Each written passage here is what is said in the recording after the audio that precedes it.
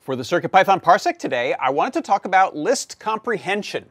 So this is a really neat feature in Python that allows you to create a new list based on an existing list, do some filtering or remapping, and do it all in just a single line. So as an example here, you can see I have a list. In this case, uh, it was a bunch of true and false statements that maybe come from some button pressing or a sensor or something. So I've created a list, has a bunch of true and false.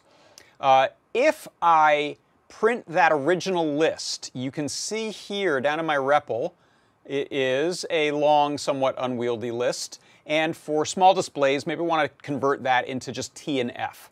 Now, the traditional way to do this would be to loop through the list. So you can see I've got for X in the original list, so each item in that list.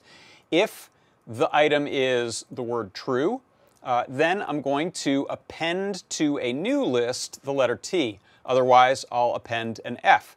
That gives me this output here, new loop list, and it's a bunch of T's, T's and F's. Very good.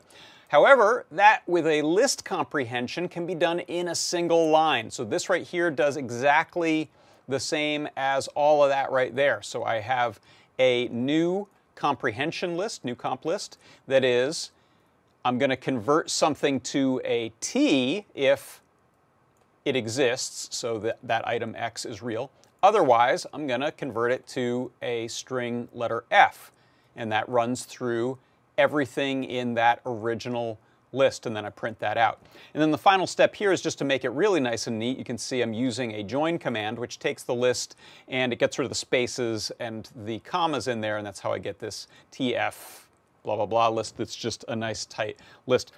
This came up because I was doing a project last week using my MacroPad and I wanted to print out uh, the output in a neat form. So you can see here I've just got ones and zeros there, so those, those could also be T's and F's using this list comprehension.